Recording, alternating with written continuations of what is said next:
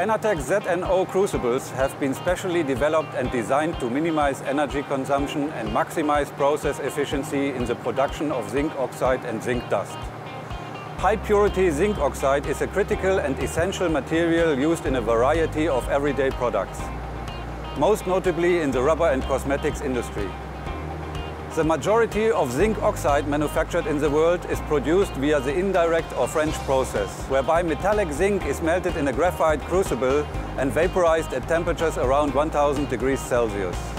The zinc vapor subsequently reacts with the oxygen in the air to form the zinc oxide powder, which is collected downstream.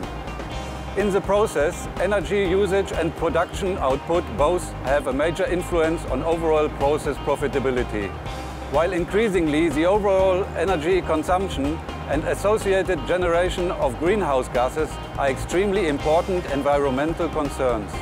Through extensive research and development work and testing, the thermal conductivity and heat transfer characteristics of ENERTEK ZNO crucibles have been optimized to ensure reduced energy consumption and increased productivity when used in the French process compared to current crucibles will naturally vary according to the existing process parameters.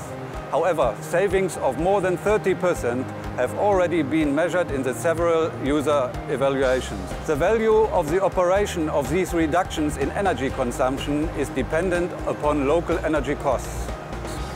But for typical flame-fired furnace applications, significant savings are achievable and are far greater than the original costs of the crucible itself.